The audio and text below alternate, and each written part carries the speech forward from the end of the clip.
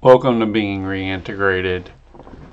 So, this is pretty much a vanity episode. Um, thank you so much for subscribing to Being Reintegrated, where you get exercises on the actual process of uh, development, working toward your, uh, you know, superior unknown initiation, I should say um, in the presence of the light of lights. Uh, so, anyway, um, I wanted to talk about the names of the Elu Cohen. Uh, I hate to say this, but um, you know, I've been, as you all know, I've been transcribing and translating to the best of my ability.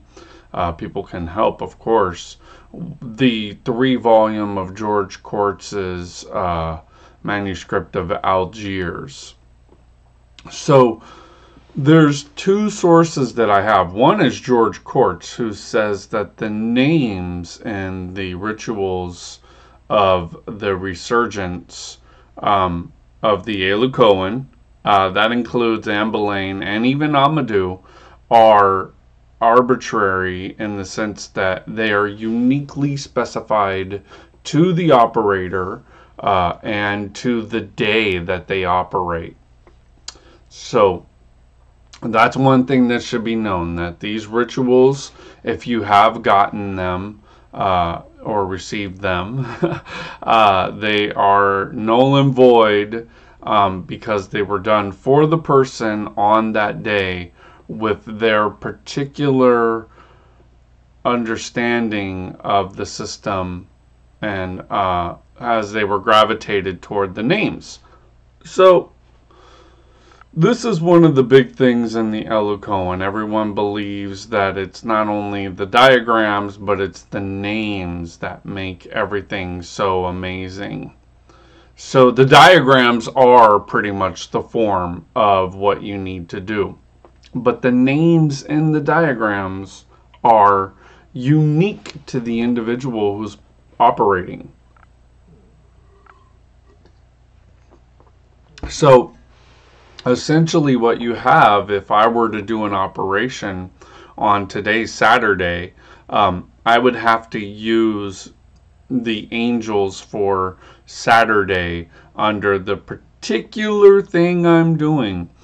So you know my teacher uh, in all of these kind of esoteric things is uh, Christine Payne Towler, and uh, you know she was initiated in the old way where you go to the Elu Cohen, you do a ritual uh, that's personal based on your own prayer work, your own motivational factors, and then you get initiated into uh, levels of practice. The first one, of course, is the pedagogical blue degrees.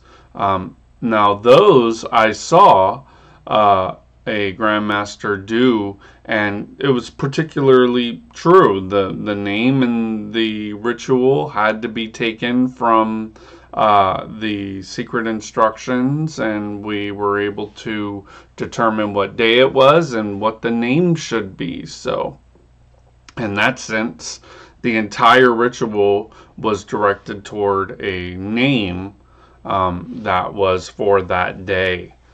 So it's very important to know that because right with the blue band you get this, and then um, you know in the in the black band, the fourth degree, uh, you get an understanding. Now some have turned that into a Crowley esque uh, ritual, but you know, it, it, doesn't have to be. It's not based on any particular naming convention.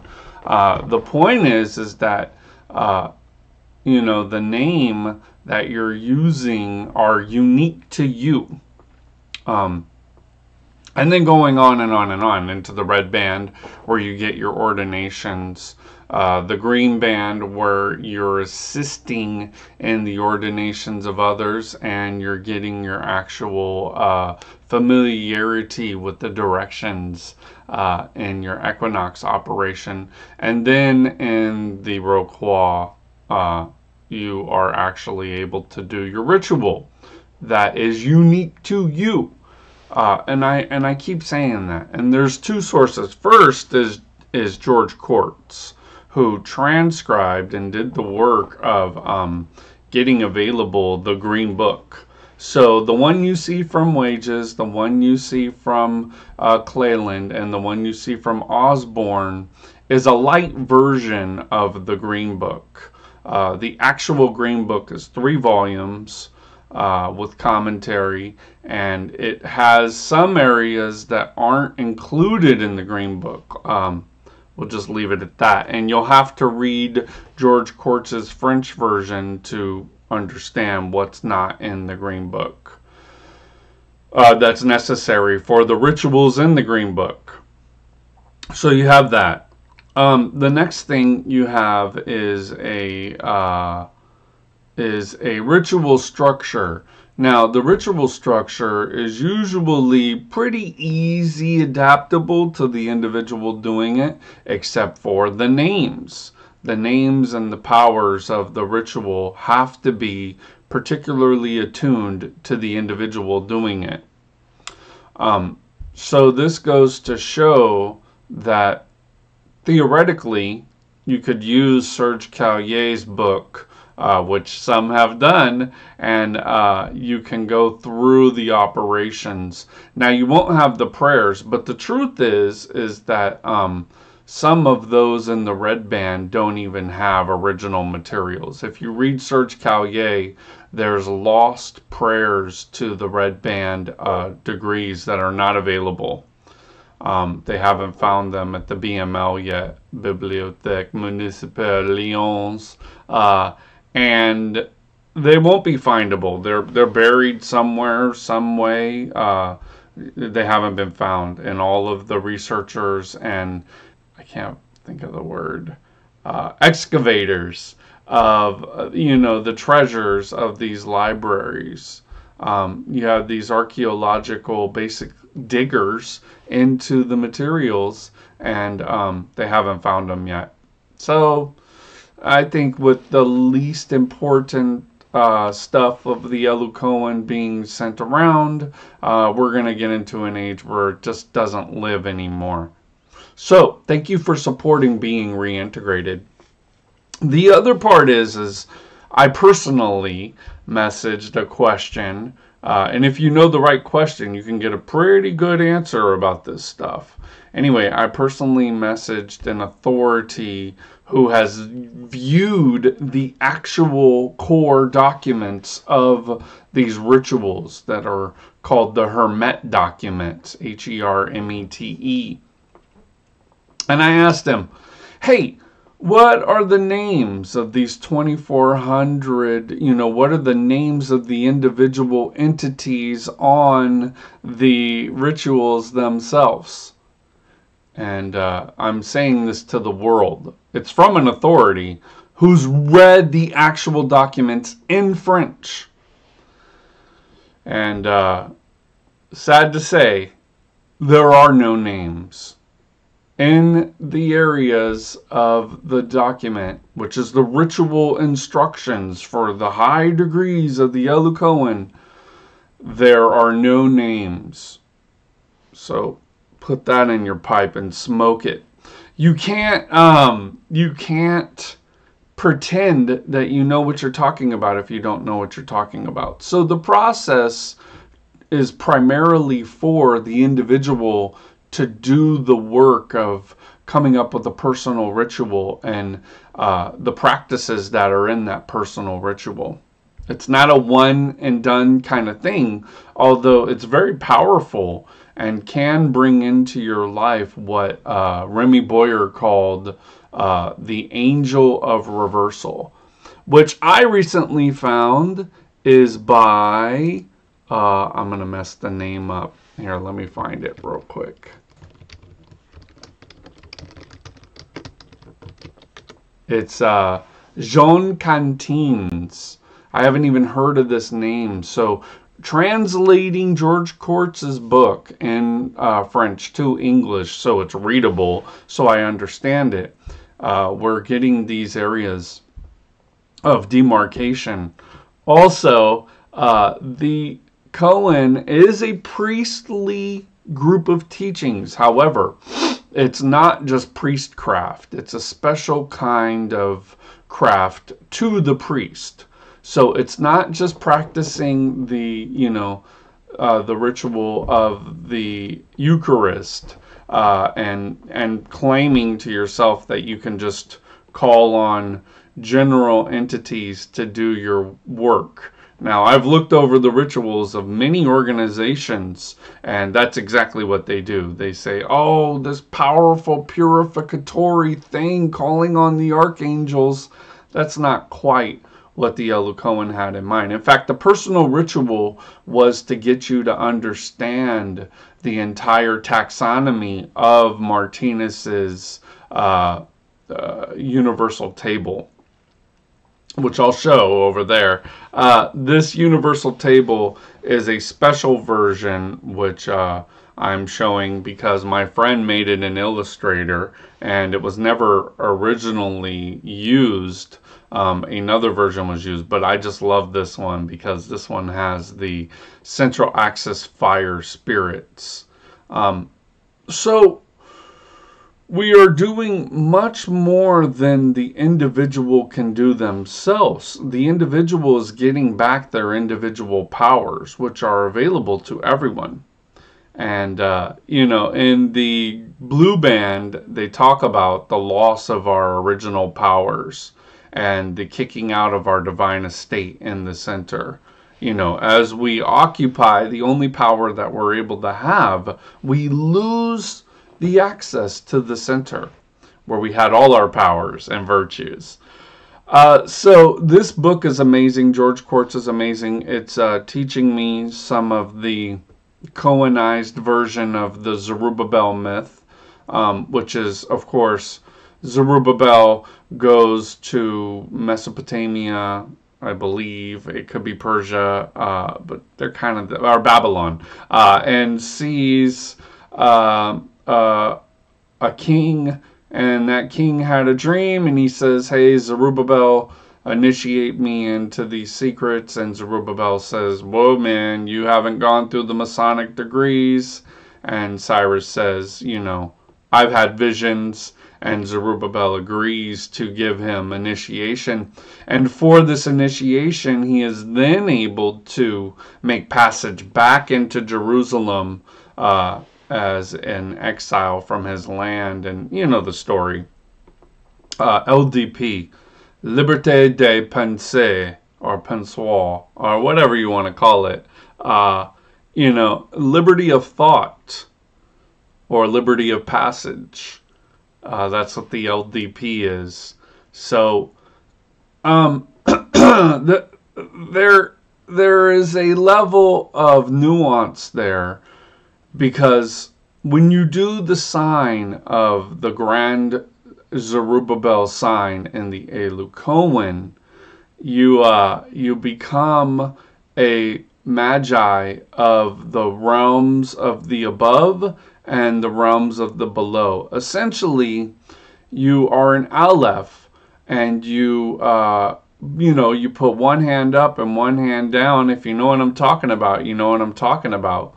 Um, as depicted in the magician card of the Tarot, this Aleph is able to bridge in the universal table the um, the actual realms which are talked about, which you'll see over there. Uh, the realms that are talked about, these spiritual forces are brought into the magnified energetic circle that you're operating in the high grades of the Elu Cohen. So you got to know all this in order to do all this. It's not, you don't just get to say, oh, I'm a priest and forever after the order of Melchizedek, I'll practice the Eucharist and now I'm, you know, a Réau-Croix. That's not the way it works. You can't do that. You have to develop a personal ritual in which you charge your personal ritual with your understanding of your personal ritual components. And then you're able to make your petition uh, to the powers that may be for your original divine powers. I'm letting so much out of the bag here. Uh, and I'm going to make this one in the open because I want y'all to know that this is not a wares trading kind of group. I, have been passionate about the Elu Cohen for 20 years.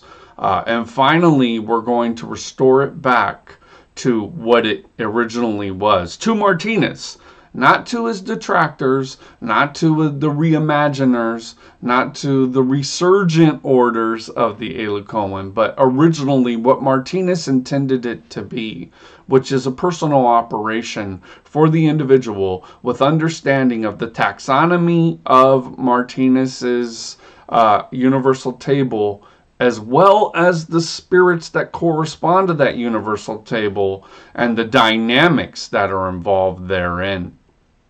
So there's quite a, a, road ahead if you're interested in that. I don't know if we're going to get there completely. I'll lead you up to the gates, but you got to knock on the door. You got to work with the thing yourself. Um, you know, I can't I can't do a ritual for you because as you see, it's highly personal.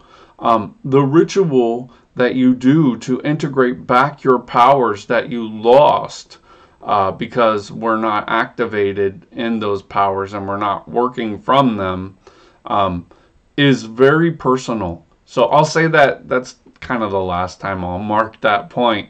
But um, it's personal, and there are benedictions. Uh, you know, my treaties of benedictions, uh, translated by GPT uh, in the Cohen Instructions of Saint Martin uh, which you will see Saint Martin's view on these prayers, on these blessings. Um, there's there's much nuance to go over, but I can't possibly do it in one video um, because it took three, five, and seven year periods of time in succession for postulants for the Réau-Croix to be able to make their petition. So there's a three year education, there's a five year education, and there's a seven year education. This is not something that a young guy can just go into and say, oh, I'm thus and thus and so and so, and now I have all my certificates and I'm the leader of the pack. Um, you can't do that. It takes a long time to learn to develop your power um, because we have one power left. This creative power, which we have, this creativity that I've talked about on other things uh, or other videos, uh, you'll see is operated in the Elu Cohen. So all of this is designed to get you back into your original powers, um, which I've analyzed all the materials there are and I uh, am now able to help you get to where you're going. So we will be doing probably a retreat in 2028 uh, to come and do the Réau-Croix ritual. Um, it will be sponsored by publisher uh, and the uh, sponsor of being reintegrated, uh, Noria Brownfield. Um, and we will offer not only this uh, initiation with your particular uh, work uh, taken in mind. And once you've done the purificatory work that needs to be done and the prayer cycle and you get your powers, um, then you can somewhat go in and do the operations of the high grades. So we will be offering in a few years a uh, a like bed and breakfast kind of weekend long retreat to do this. Um, you'll pay for your own lodging, you'll pay for your own transportation, and then a small fee for the ritual work that needs to be done since it requires the rental of a location um, because it's it's quite elaborate. So, for the first time in history, we're going to reproduce the Réau-Croix as it was made in the early 18th century. Uh, and I can't wait for you all to get involved because um, Ivan Mosca put the order to sleep. But because uh, bishops are saying now we can revive the order. Uh, the bishop uh, that I am working under as a priest um, has given permission to revive this kind of craft. So I will be working personally in translation and perpetuation of this system. Um, you know, come back to being reintegrated because you're going to have to have a knowledge of all this stuff in order to get to that area. It's a private retreat offered to people who are willing to go through the work. It's not Masonic, um, but you have to have a knowledge of it. I'm not going to quiz you, but you're going to have to have a knowledge of what you're talking about. And fortunately, we'll be able to tell where you're at in the process and what you've done and give you purificatory things that you can do in order to um, reclaim your birthright if this is something that interests you. So, anyway, that's something that comes down the pike after the translation of the George Courts volumes. Then will be the reconstruction of the Réau-Croix. The Réau-Croix, as reconstructed, will be offered on a retreat basis uh, and then we'll have like a lecture period where you'll be able to hear the treaties of reintegration in relationship to the high degree rights that you're going through.